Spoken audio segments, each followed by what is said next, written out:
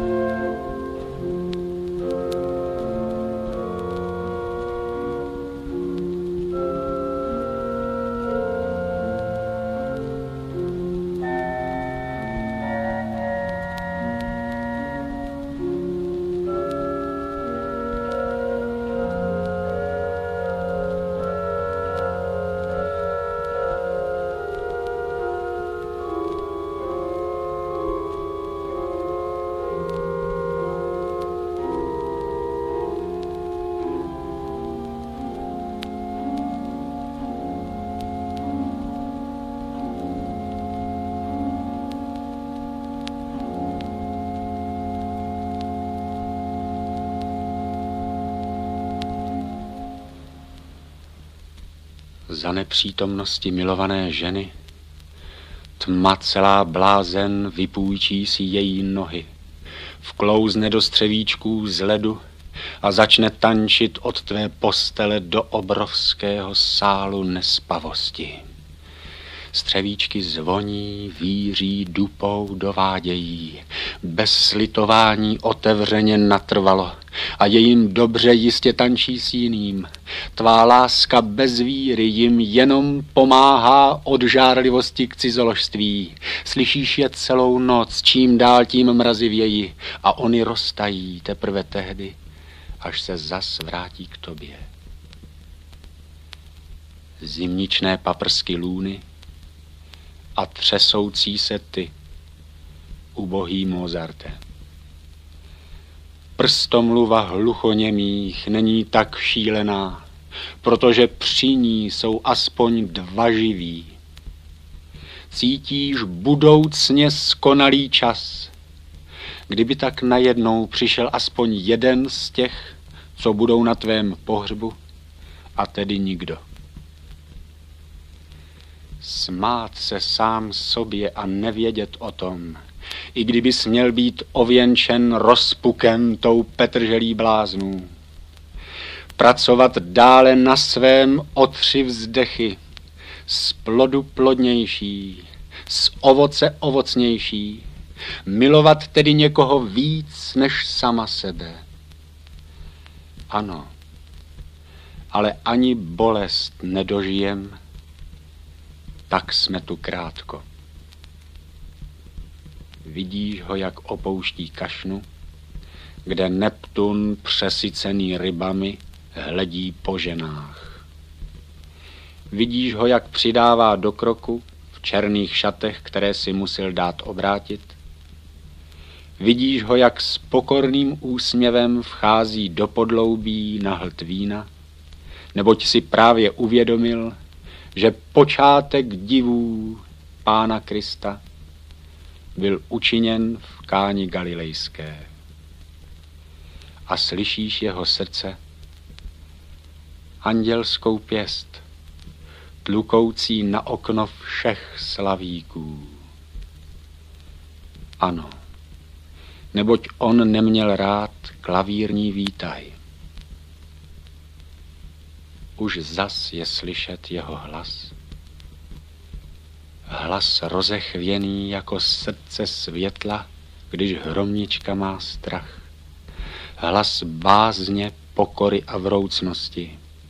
Hlas, který se přimlouval za tento svět, svět stále pomlouvaný za zády Boha.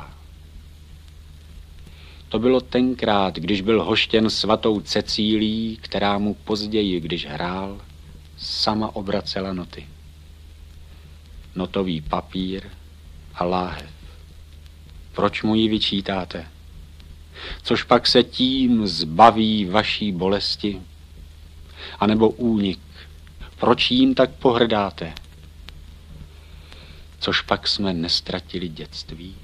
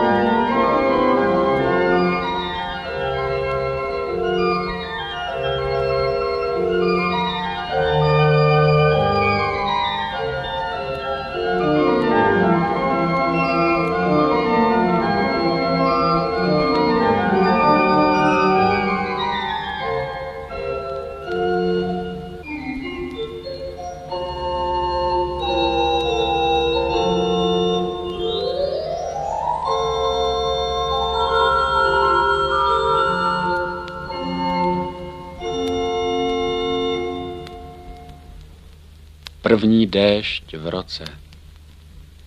Jeho zinkografie.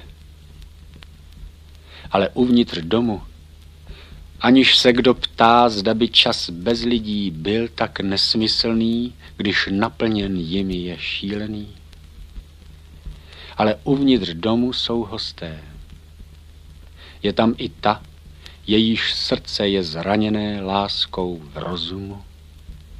Je tam i on, jehož vášeň sestoupila do srdce a už nevystoupí, možná jako trest za umění, když umění je modlářstvím. Hle přítomnost. Je třeba být, abychom žili.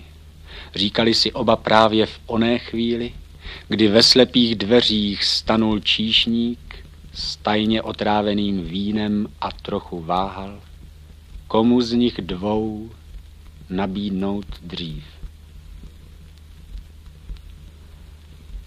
Slyšel zpívat Slavíka a nikdo mu nenamluví, že by zpíval líp, kdyby byl oslepen. Slyšel zpívat chlapce a nikdo mu nenamluví, že by zpíval líp o vykleštění. Slyšel zpívat dívku a on nevěřil, že by zpívala líp po právu první noci. Co bylo stvořeno, má se zde milovat, aniž se možná byt jen dotkne jeden druhého. A roztříští se na moři dvě lodi o sebe, Není to z nelásky té jedné k druhé. Všechno zde vášnivě prožité trvá jen chvíli, v které se chvějí dva osudy, vehnané do blízkosti až nestoudné. Je to blízkost bez tušení, blízkost bez dobrodružství, blízkost na celé tělo, blízkost, blízkost. Jen opilství je stále ještě odstup cítě rozkoš z odmítnutého pokušení, mlčel před jejím panenstvím, neboť v každém slově i v slově vynechaném pohlavím muže je rána. Jen přídech důvěrnosti byl mezi nimi. Přídech jehož jemnost tím více zdůrazňoval prostor sveřepě posekaný kubizmem lůny jak hrálo němým být, tušit a zbožňovat. Také ona mlčela a on nikdy nezapomněl na její oči. Byly to oči hudby v posmrtné masce slávy. Jako ve snu bloudil hájem Zářijový vítr byl už tak sečtělý, že jenom převracel listy. Ale z mysli až posvátně mu nešel ploník, osladič a skála a srna a pramen. A potom ten jakoby dětský zbor barev, který ustupoval do popředí, tak líbezně totiž přecházeli jedna v druhou sklíčený blahem, šeptal si zatichle, a to chtějí, abych svědčil proti kráse. Oddaloval tesknotu, neželel hříchu přervaného smrtí a abych zničením všeho došel k hrdinovi.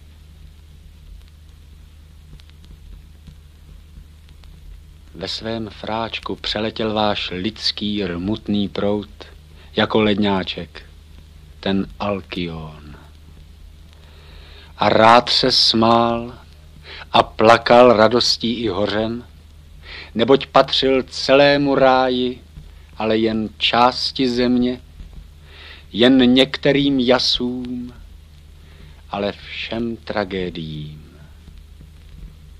Jedněm i druhým byl to anděl na zapřenou ale on si to nepřiznával. Říkal, že smrt je klíčem k opravdivému štěstí. Černé klíče, černé noty, černé pauzy. Ale značně bílé jsou krvinky pámelníku pod zvětšovacím sklem podzimního slunce. Hrav kulečník. Park prší v déšť. Větve už prostrčily ruce rukávem holé kůry a teď je překládají při hře na klavír vzduchu. Noty, pauzy a klíče. V tak pozdní hodinu svírá se srdce děsem, že slyší stále hudbu a ne lidský hlas. Ale ten hlas by stejně musil mlčet, ba mlčeti jazykem svátečním. Strach. Jeho strach před policejní hodinou smrti. To potom není zde už ani poloprostor s krucifixem z gipsu. Leda tak kdesi koutek, pedálová harfa se spuštěným závojem pavučin a zhroucení a pláč. Je všemu konec? Nebo má se ještě dočkat, že péčí náhrobních kamenů vyjde litografované vydání jeho rekviem? Ale jako piják převrhl Alpy, aby pak nejistě postavil láhev na vrzavý schod strachu ze smrti. On, tak těsně u sebe, že se mezi něho vešla celá nesmrtelnost. A skutečně, za jeho přítomnosti nůž pod ovcí by nemohl nic podřezat a cín z rozstavených starých křtitelnic vrátil by se zase do podstatného tvaru. Že si s ním také radost zavázala svět a měla děti. Ale ano, jenomže jak často a jak mučivě toužila za po svobodě. A když jí odlehlo srdce, brala jednu řeč i s dňáblem, který pokouší nás, leze nebo se plíží nebo má dřeváky. Kdo se ti to vysmíval? Už se nepamatuji. Kdo to na tebe křičel? Nemohu si vzpomenout. Kdo se to na tebe ptal? Kdybych to věděl. Kdo to s tebou mluvil? Nemám potuchy. Kdo ti to šeptal? Těžko říci. Kdo to s tebou mlčel? Ona. Jak krutě odvíjí se dracoun praskající struny, při vrtání červotoče do houslí nespavosti. Všechny prozby o pomoc, přátelé, ba i nepřátelé, ucouvli tajnými dveřmi. Už dávno odešla i ta dívka, která s kyticí v ruce řekla, pane a pane můj nejjasnější, přál byste si, ale mám jenom černé růže. Nejzranitelnější místo srdce je zároveň nejhlubším místem duše kde jako genius jste sám. Ubohý Mozarte. Tělo v pytlovině, kterou natřeli koptem, na věky prázdné břicho, chleba se nedospíš. Upřímné vrzání már. Pohřeb poslední třídy. Větru se práší od huby deště a přátelství. Hrobník. Lichý ve smyslu nedružnosti. Jeho kapsa. Láhev kořálky braná do práce. Přitakání životu.